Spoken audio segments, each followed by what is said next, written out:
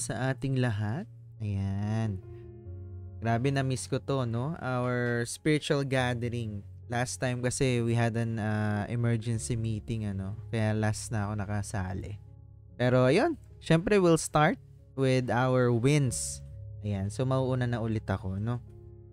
I'm happy and I'm grateful for today kasi it's the Lord's Day, no? And I'm grateful for this week also kasi lahat ng uh, mga blessings na natatanggap natin uh, talaga namang uh, pinagpapala tayo, no? We have good health. Ayan, isa yan sa mga pinagpapasalamat ko din. And also, uh, grabe yung blessings do sa isa nating partner. Also, ayan, tuwan-tuwa din ako sa wins niya kasi grabe yung effort, napakasipag din, no? And syempre, I'm also happy for sa dalawang to. no, kasi no matter what happens, no, kahit iilan pa to, lagi tong natutuloy. Ano, walang ano, walang cancellation, walang anything but lagi tong tuloy, no? Kung sino man ang mag-lead, kung sino man ang magsalita dito, lagi yan tuloy kasi everything happens for a reason. And syempre, I'm really thankful din also, no, para sa ano, uh, gathering na to. Kasi, syempre, this is the most important day. No, sabi nga ni Pastor Ralph last time, ano, uh, we're starting the day, the week right. No? Kasi, lagi natin sinisimulan sa spiritual gathering. And syempre, I'm really thankful for uh, Pastor Ralph also, no, kasi, Grabe, ang dami niya ring uh, uh, ina-attenda na sa speaker but syempre naglalaan siya ng time para sa atin. Ano?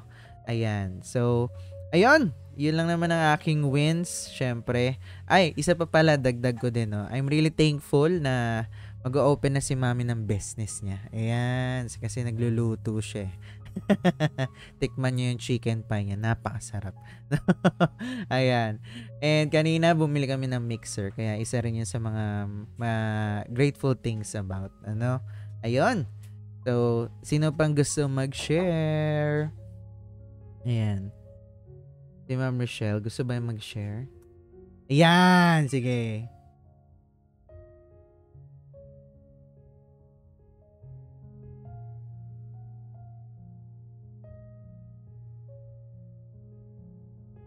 po kami ng aking tabang kabatch. Tsaka po yung ngayong araw, celebrate namin yung birthday po ng anak ko na panganak. Ayan. Happy birthday! Uh, nagsalo-salo po yung mga kami kong pamilya, yung mga hipag ko, then yung mga bata ko. Yun po ang aking uh, grateful for today. Ayan, thank And you the, so the much. Thank you so much, Ma'am Rochelle. Grabe, kakagaling lang ni Ma'am Rochelle kahapon sa ating ano, no, heart and mind training. Wow, grabe, no? Galing. Ayan, si ano ba? Si Ma'am Tess nandyan? Ayan.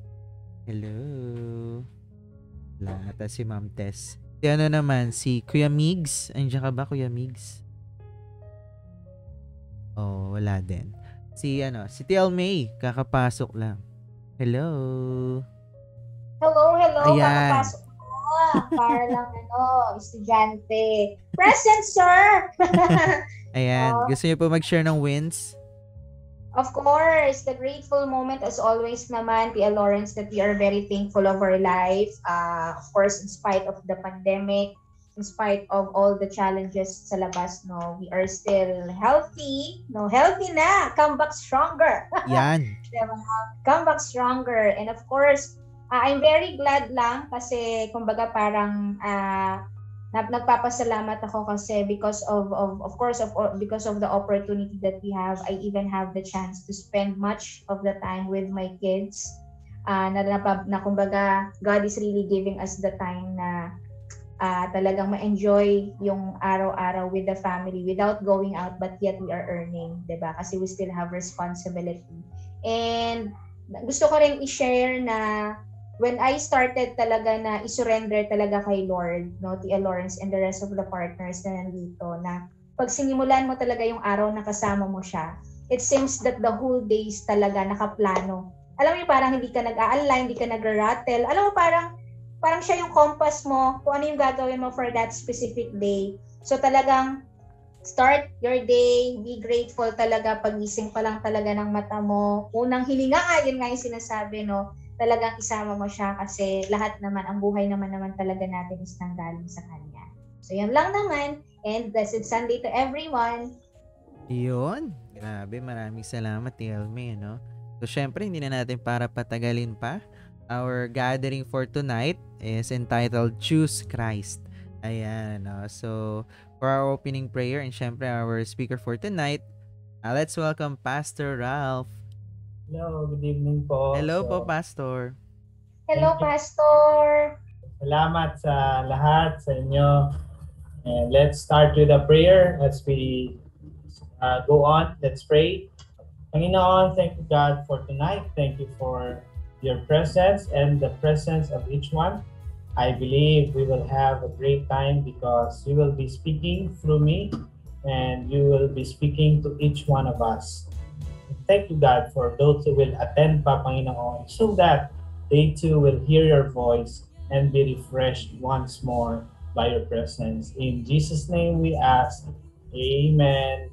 So, salamat for, again, this is another opportunity for us to be refreshed. And sabi nga, kanina, um, you are all busy, but yun nga ang title natin.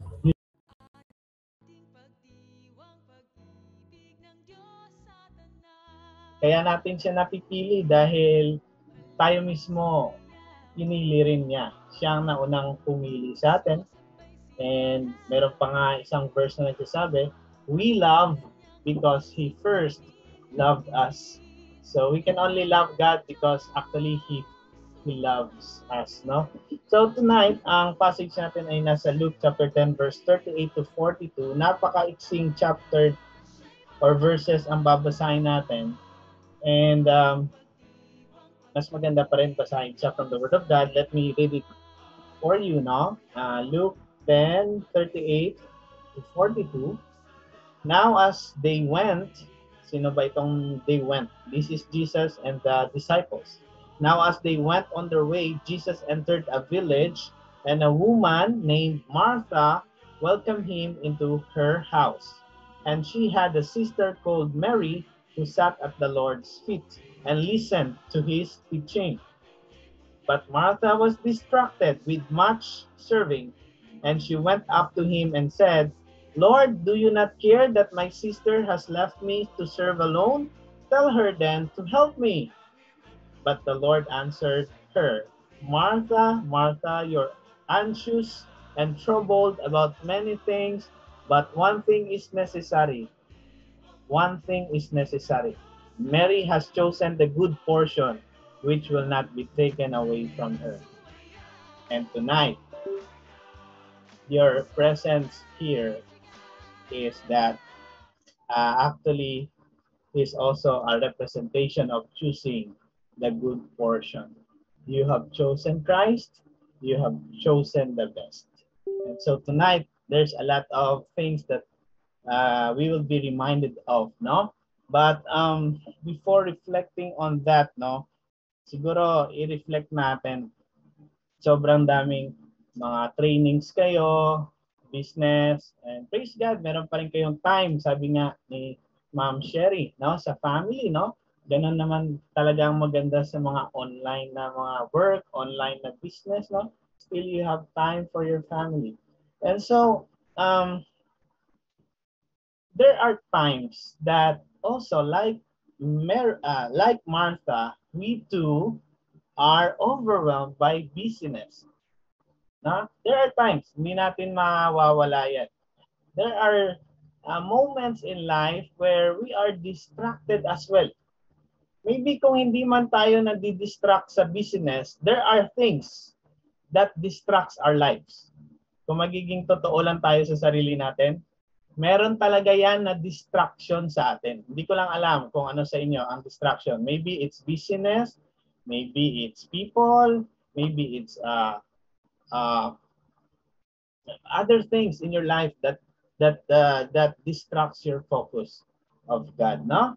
So tonight, napakaganda because uh, this will be a uh, reminder for us, no? Uh, I don't know kung ma-propose yung ating ano pala, yung PowerPoint. Ah, uh, maganda 'yon tumapos. Yes. So, sige, focus na lang muna doon sa sa verse na PowerPoint, no? Choosing Christ, yan. So next, may verse yan.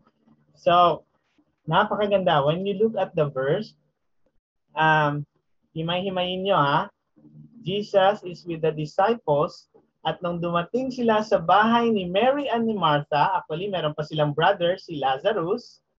Alam niyo ba, uh, if Jesus is with the disciples at dumating siya sa bahay ni Mary and Martha, syempre, uh, it's a big preparation. Ah, na, naalala niyo ba? Pag may bisita kayo na tatlo, di ba maghahanda din naman kayo or mag-grab food kayo?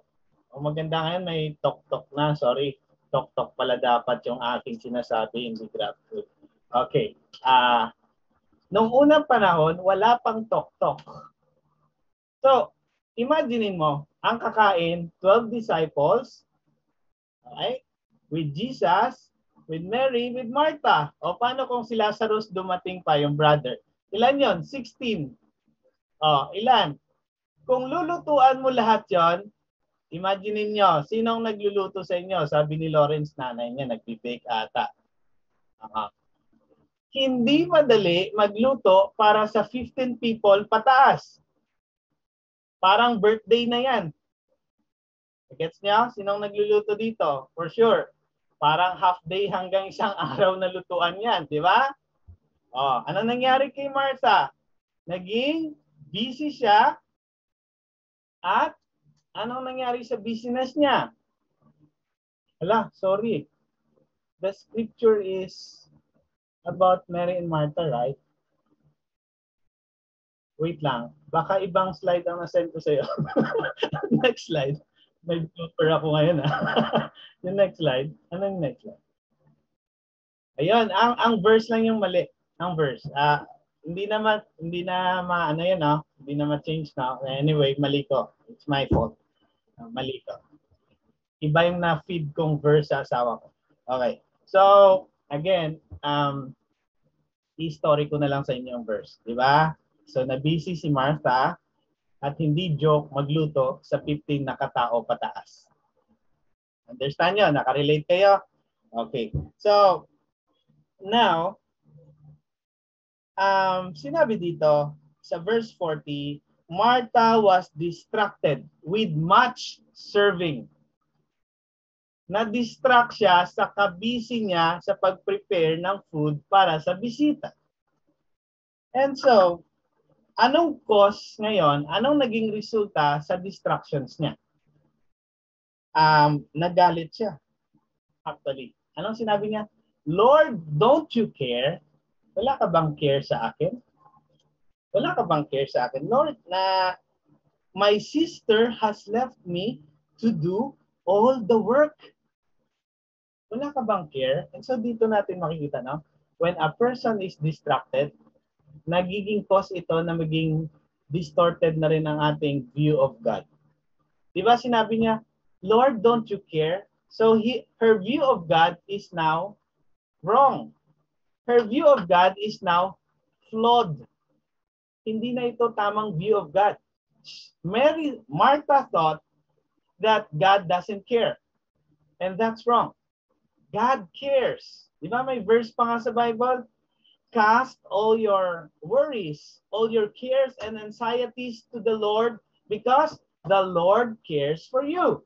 And so yung mindset ni Martha, because of busyness, nag-cause ito ng distraction sa kanya at yung distraction niya nag-cause ng distortion of view of who God is. Don't you care? 'Di ba sa buhay natin pag distracted na rin tayo because of busyness, because of problems, we think also, Lord, wala ka bang care sa akin? Sinisipagan ko na, nagsiserve na ako sa iyo, ito pang mangyayari. Don't you care? And so we can relate with Martha actually. Sometimes when we are distracted uh, with what we're doing now in life. It could be, I don't know what's the reason, but there are a lot of reasons why we are distracted. And it causes us to have that wrong perception of God. Lord, don't you care? Natanong nyo na ba yan minsan? Minsan ayaw lang natin aminin, pero minsan we are also asking, Lord, don't you care? And also, ito pa, sinabi niya, um, my sister has left me with all the work. Um, sino ba ang nag nag-set ng ganong ka-taas na standard? Si Martha. Minsan, bakit ka na busy? Sino ba nagsabi sa'yo mag-busy ka? It's us. Sa totoo lang, it's us who set our who set the level of our business. It's us who set the level of our of our pressures in life. Tayo yun. Tayo ang nagsiset ng level of ano, no? Thank you. Thank you. Na na-edit ni Lawrence. Salamat, Lawrence. Uh, kanina, ang dami kong bloopers now. Pero anyway, thank you, Lawrence. So, sabi niya, Lord, don't you care? So, nagkaroon siya ng wrong perception of God. And sabi niya, my sister has left me to do the work by myself. Oh, she has this wrong uh, perception of others. Kala niya, pinabayaan na siya ng sister niya. Diba? Tapos, um, nung sinabi ni Jesus, Martha, Martha, you are distracted by all the preparations. Now, uh, sabi ko na nga, sometimes we are the ones who set this pressure on ourselves at tayo rin magre-reklamo. Sa totoo lang. Okay, katulad sa mga babae na kinakasal. Di ba? Minsan sobrang taas ng standard tapos yung na-deliver na na result ng kanilang planning is ito lang kataas. So gaano kataas yung tension sa buhay? Ganito. Yung gap sa expectation with reality, yon kataas ang ganon kakapal ang tension. Ganon kakapal ang frustration. Kunwari, ito yung goal mo, ito lang yung na-deliver, ano kataas? Ganito kataas ang frustration, disappointment, and irritation sa buhay natin. It's us. It's us who who cause that actually most of the time. So, there's a wrong perception of God, wrong perception of others, wrong perception of circumstances. Oh, bakit mo nasabi iniwan ka mag-isa? Hindi naman. Hindi naman. Hindi ka naman iniwan. And actually, ito yon. Yes, mahalaga po ang pakainin ang bisita. Pero hindi niya na-gets na ang pakay ni Jesus that time is to teach them. I am here visiting your home to teach you, and I want to see you sitting at my feet, listening. So take note, it was Martha who opened her house to Jesus, but it was Mary who opened her heart to Jesus.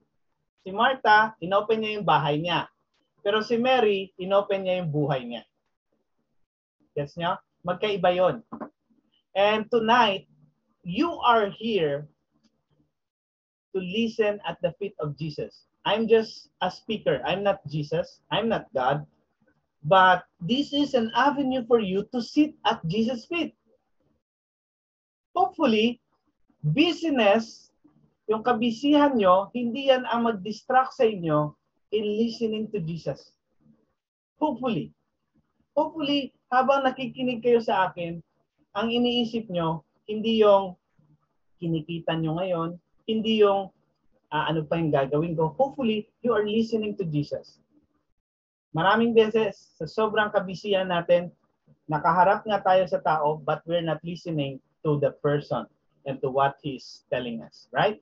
And so hopefully to us, we will be like Mary who sits at Jesus' feet, willing to listen to Jesus and to receive the blessings of Jesus and to experience and appreciate the very presence of Jesus through the Holy Spirit. Nagkaroon si Martha na, sabi ko, wrong perception of God, wrong perception of of her circumstances, wrong perception of others, and lastly, she had a wrong perception of herself. Sabi niya, ah, Lord, don't you care that my sister has left me to do the work by myself? Tell her to help me. Ha? Inutusan si Jesus. Sa tingin nyo, pabulong yung pagkasabi niya? Hindi. May apostrophe. Tell her to help me. Inutusan si Jesus. Feeling niya, ano si Jesus? Sunod-sunuran? Genie? Uutusan mo si God? Tell her to help me. So, Mary has a, uh, Martha has a wrong perception of herself because she thought, because I am busy, I'm more important than my sister Mary. Because I am more industrious, my worth is higher than my sister. Wrong perception of self. Not because you are performing well, you are now lamang sa ibang tao. Never.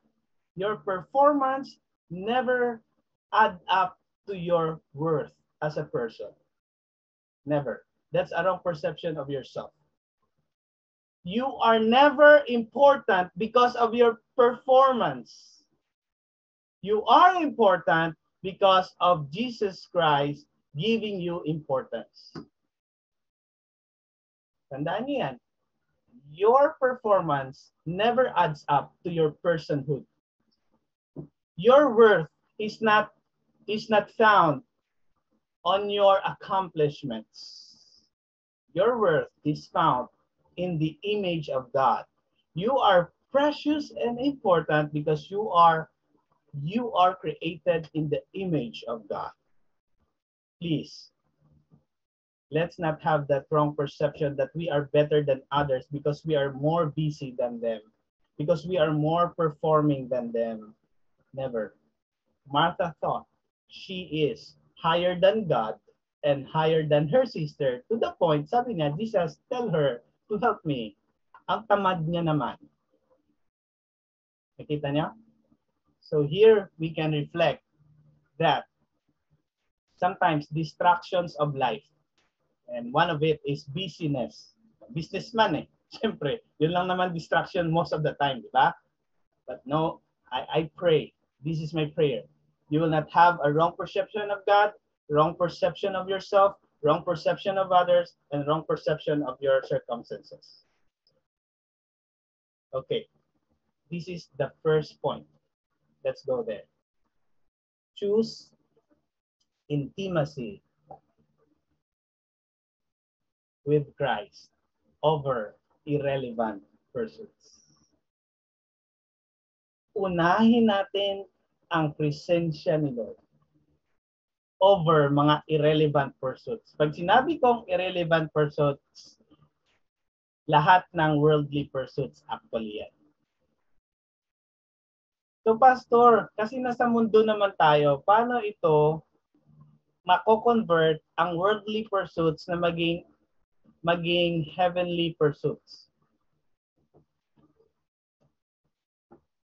Magandang tanong yan ang worldly pursuits, hindi siya magiging irrelevant kung ginagawa mo yan for the glory of God.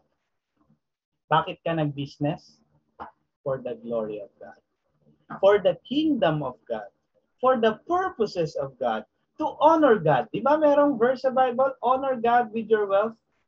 Now, if you're just earning pera for your honor, then I tell you that money will just go away and that money will be placed on a pocket with holes. That's that's the lesson in Haggai. Remember? If you just think of your own honor, you are putting money in a pocket full of holes. And I don't want you to be a victim of putting money on a bag with holes. Please, let your pursuits be for the glory of God. I am doing this for the glory of God not for my glory. To honor God, not for my honor. And that pursuit, kahit ano pa yan, will become heavenly pursuit. And again, si Martha na distract, that's why na-miss niya yung intimacy with God, closeness with God. Parang wala yun sa isip niya. Maraming tao, because of busyness, and I am here to remind you, never let busyness hinder you to be closer with God. Sana mas ihag mo pa si God sa busyness mo. Okay? Hindi yung na-busy ka at lalo kang napalayo sa God, sa Panginoon. Choose intimacy with Christ over irrelevant pursuits. Okay? Sinadya ko talagang letter I lahat tonight. Intimacy, irrelevant pursuit versus irrelevant pursuit. Next. Choose instruction of Christ over irrational thinking. Ang nangyari kay Martha, ang dami niyang irrational thoughts. Maling pag-iisip. Ang dami. That's why we need to choose instruction of Christ. That's why we need to like we we need to be like Mary sitting at the feet of Jesus Christ listening in his every instruction because every word of God is life-giving. It revives our weary souls. It it clarifies our clouded mind and unstable hearts. The instruction of God, the word of God here, the word of God, we should choose it over irrational thinking. Bakit nag-iiba na yung tingin mo sa sarili mo? Tingin mo kay God nasisira? Tingin mo sa ibang tao nasisira? Because mas nag-listen ka sa irrational thoughts mo kesa sa instruction ni Jesus Christ. Okay? So choose intimacy with Christ, choose instruction of Christ, and lastly, ay salamat, tapos na si Pastor. Anong pangatlo? Meron pa yun ah. Choose intentionality to sit at Jesus' feet over intoxicating busyness. Mas piliin natin ang maging intentional to sit at Jesus' feet over intoxicating busyness. Okay? So piliin natin. Intentionality to sit at Jesus' feet. What you're doing tonight, this is one, hopefully, you are intentional. Hindi yung napilitan lang. Nahi, nahiya kasi ako kay Lawrence eh. Nahiya ako kay Pastor. Uh, huwag ka mahiya sa akin. Kahit isa lang ang nakikinig sa akin, go ako.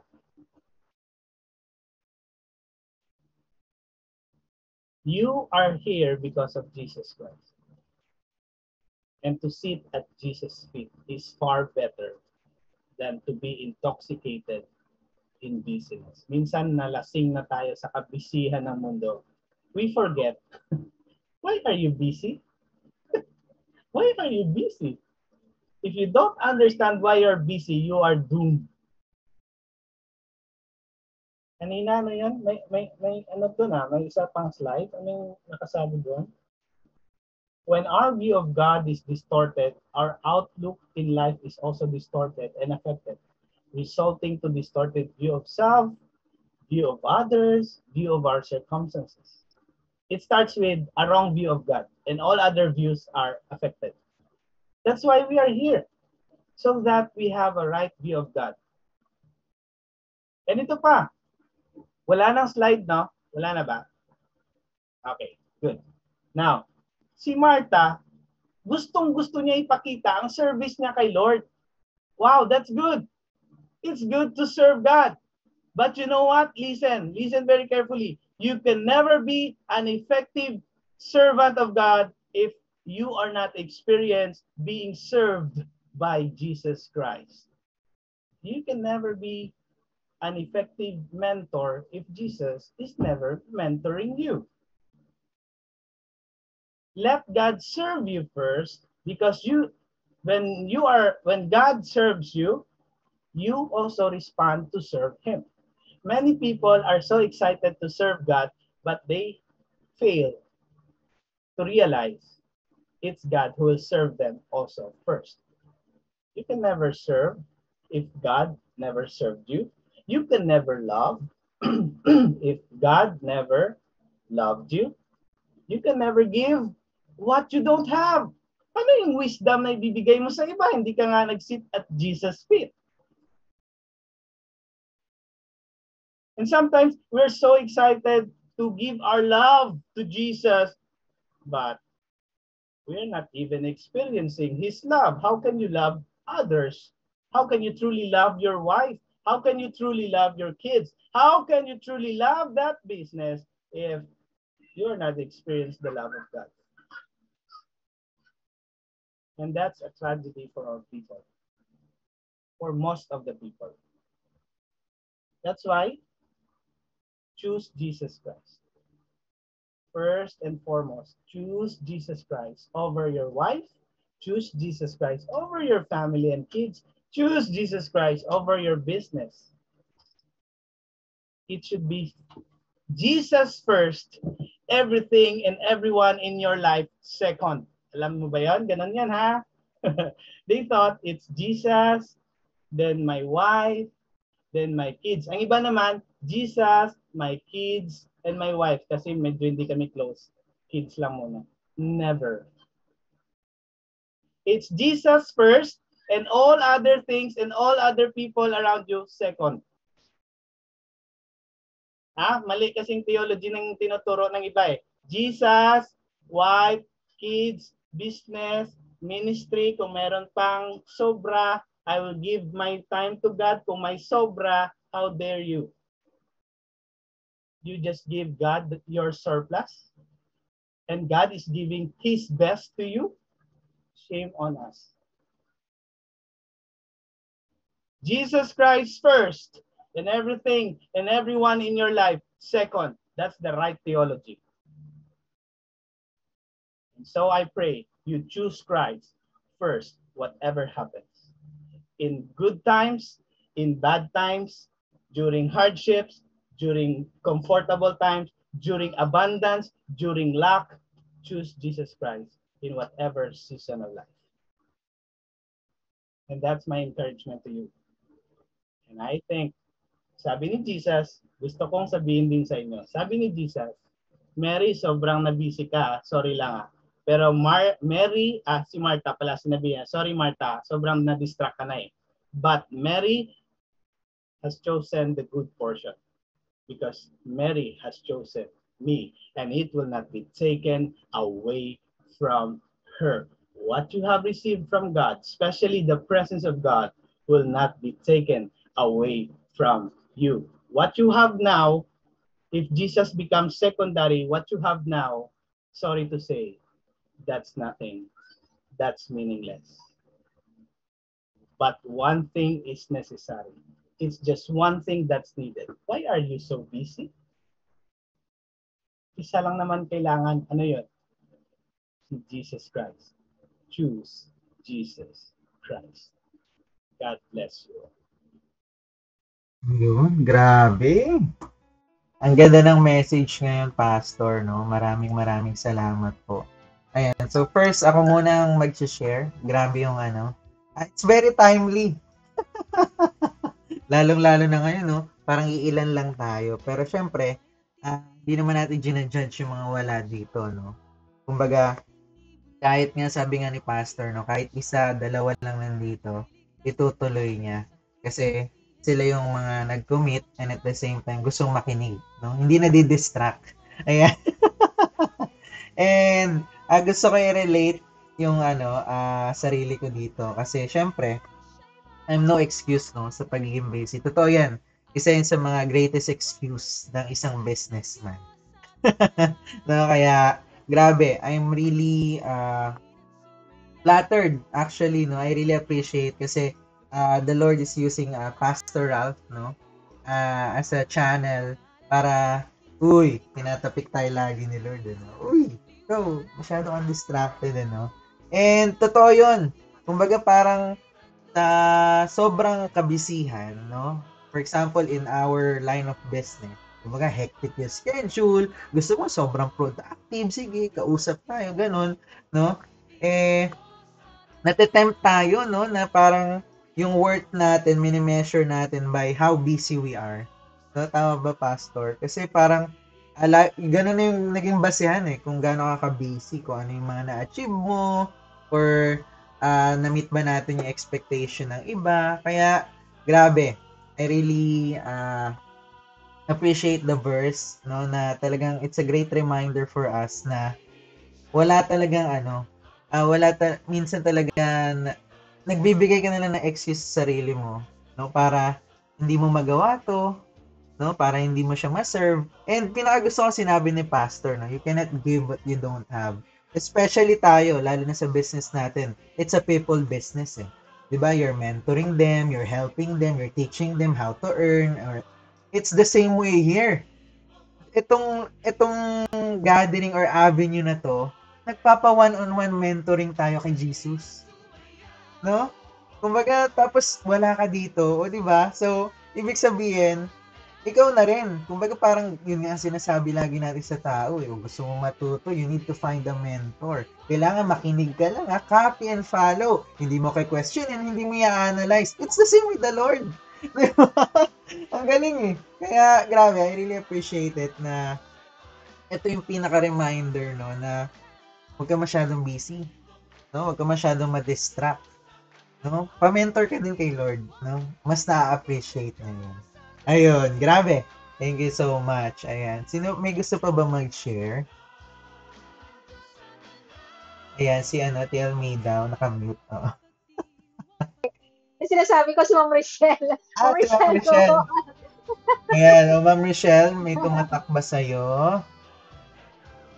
Ah, ah, ayun po, yung itong every every Sunday gathering, ito talagang lagi ko pong inaabangan. Since na in-start ito TL, eh gustong gusto ko talagang ano, ma-attend.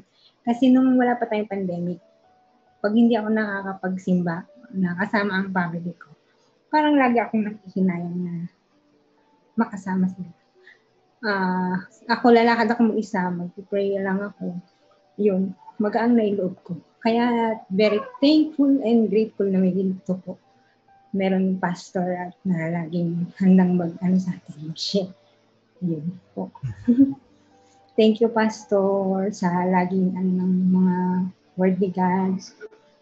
Ah, kahit hindi ako maano sa Bible, basta na-explain mo, na elaborate mo. Feel na feel ko pa talaga yung love mo sa akin. Ayun. Amen. Grabe, no? Thank you so much, Ma'am Michelle. Actually, no, ano, share ko na lang din. Kasi, uh, last year, when I started the business, kaya ako lagi sinasabing God's proper timing to eh. Nung dinis ka sa akin to, March. So, parang bibilang ka na lang ng araw, nag-lockdown na. Nung nag-franchise ako dito. So, sabi ko, grabe si Lord, no? Parang piniprepare ka niya lagi talaga, no? Kaso, kailangan pinagpe-pray mo din na ma-recognize mo yung, yung blessing. Kasi minsan, nandiyan na sa harap mo, hindi mo pa, hindi mo nare-recognize na, ay, blessing pala ni Lord, you know. Tapos, uh, ako, I'm very confident na I'm okay with my personality. Kumbaga, personality de- development-wise, mindset and everything, I'm good. Pero sabi ko, may kulang sa akin. No? Kumbaga, kulang ako sa spiritual growth. So, I sought a mentor. No? Uh, yun nga yung uh, unang nag uh, share or nagpi-preach din dito no si Pastor Jan. Kaya sabi ko grabe, iba pa din ano kapag may nagtuturo pa rin talaga sa iyo. Kasi syempre pwede mo naman naman talaga basahin 'yun, pero pag may nagtuturo sa iyo, pinapaintindi sa iyo, iba eh, 'di ba? Parang tumatagos sa iyo. Ayun. Uh, ayan, si ano, si Tiang May. Ayan, ako lang no pa, uh, pastor share ko lang din, no. Actually, kanina hindi ko alam na ito yung ano natin, yung i-discuss ni pastor. So, kanina sa sharing ko sa grateful moment ko, no. Uh, I just wanted to share siguro lahat din tayo nakaka-experience since that we are, most of us are, we are on the same page talaga na uh, uh, what I realized kasi pastor for for the time from the time na nakasama ka na namin dito na every Sunday kung sa business nga we are very excited uh, of course with Tuesday kasi it's income day Pero ito not to ano ah, uh, God really sees my heart talaga na I'm very very much excited talaga dito sa 9 8 9 PM Sunday yes. talaga. I don't know, I don't know the feel, kinikilabutan ako na alam mo yun na God is really using Pastor Ralph para oh, totoo yun, Tielo, di ba, na itap tayo na, hoy, masyado ka na nagiging busy sa mga activities mo, hoy, di ba? Kung saan saan ka na nakatingin, baka guys, ako baga parang ako bilang bilang uh, a daughter of God talaga na natutunan ko dito with all the learnings that we had with Pastor Ralph na talagang it's really good talaga to start your day with God. Hindi naman siya nang hihingi ng isang oras na ialat mo sa kanya, pero yung tipong maalala mo siya na magpasalamat ka before you start your day. I don't know guys if you experience the same na alam mo parang ang gaan-gaan lang ng buong araw mo. Basta ilala, ila at ialan mo ipagkatiwala mo sa kanya. Pero mismo siguro nararanasan natin na yung sobrang nagmamadali ka kasi nagising ka ng late, no? Nakakalimot ka nang makausapin ulit siya, magpasalamat siya. Try try niyo guys na tignan yung nangyari sa buong araw niyo. Parang ang gulo-gulo, parang feeling mo wala kang na-accomplish, no? Parang hindi mo alam kung anong gagawin mong activity for that day no? Naiiyak ako guys kasi I really see talaga da, da uh, kumbaga yung epekto nito na meron tayong katong klaseng gathering in the middle of pandemic na totoo yun PLO na pwede ka naman mag-pray na lang. Pwede ka naman nabasahin na lang yung Bible ng mag-isa.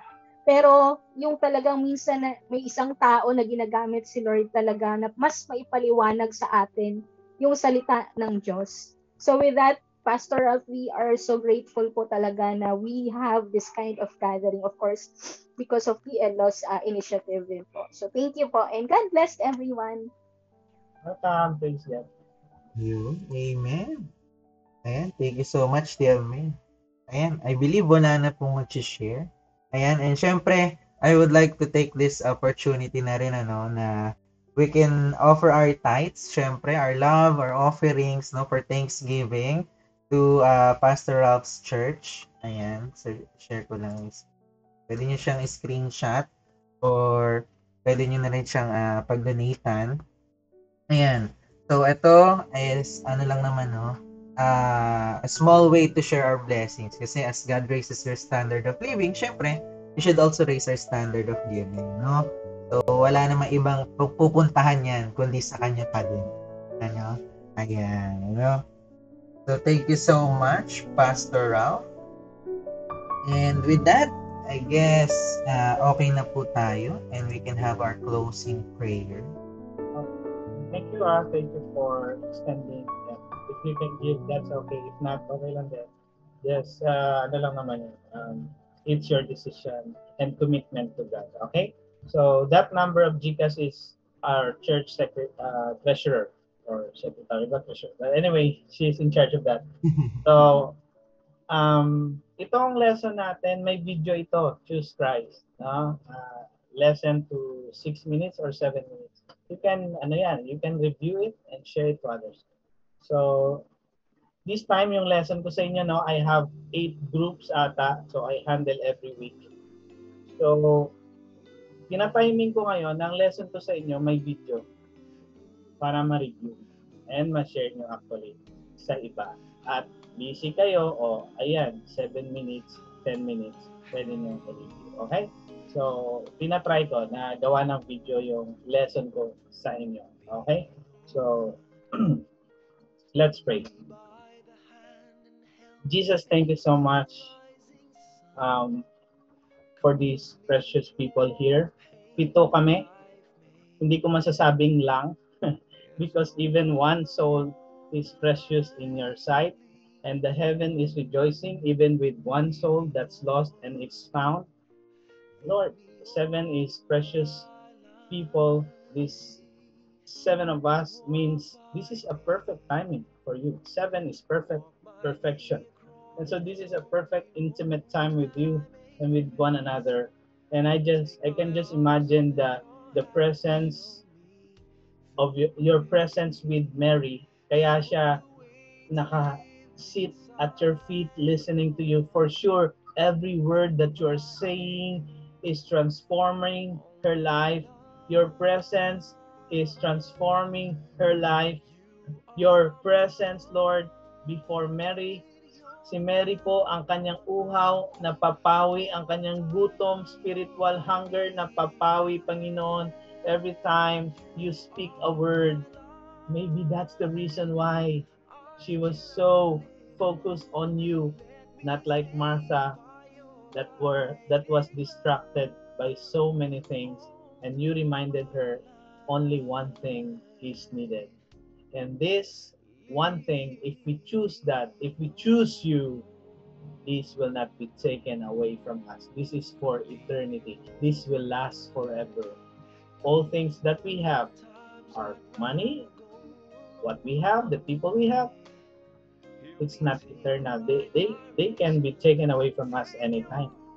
The Lord, you assure us if we have chosen you, Jesus Christ, we will enjoy your presence forever and ever. And now I declare the blessing to be upon each one, your favor, your wisdom, your peace, your comfort, your joy as they do all these things. In the name of the Father, of the Son, and of the Holy Spirit, let that presence of yours be in them and make them a blessing, bless them, and continue to spread your word and truth and your gospel, Jesus Christ. Continue to make known your name in their business, in their family, in their lives, and even in their business. May they choose you. In Jesus' name we pray. Amen. And amen. Amen. Yeah, picture po tayo.